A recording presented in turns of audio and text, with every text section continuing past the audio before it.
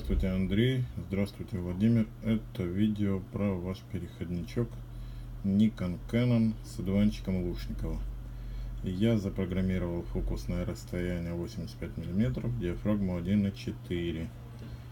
Как вы уже, наверное, знаете, во время съемки диафрагма не меняется. Она меняется только в режиме программирования. Но на объективе диафрагму можно менять камеры Canon рассчитывают экспозицию по реально поступающему свету через объектив, а не по прошитой диафрагме. Также я перепрограммировал время входа с 10 секунд до 1 секунды. Так что при программировании, при перепрограммировании, при программировании э, одуванчика для его юстировки – время входа в режим программирования будет всего одна секунда.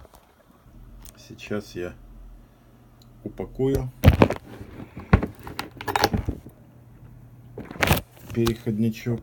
Вот он, смотрите, переходничок, крышечка. И отправлю вам. Спасибо за внимание.